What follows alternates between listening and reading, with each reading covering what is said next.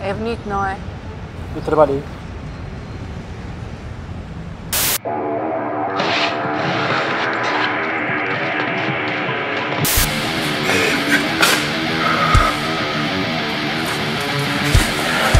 Por que é que eles saem da puta, caralho? A culpa é minha, porra!